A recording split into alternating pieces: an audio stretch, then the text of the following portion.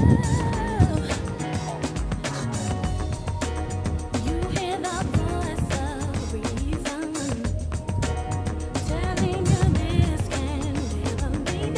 world. It's your man, solo artist Saxx, coming to you live. New year, new beginning, new blessings.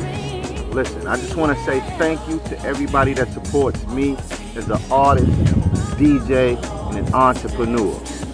Since it's a new year, we got new beginnings. That means we got new merch, new content, new music, new visuals, and more.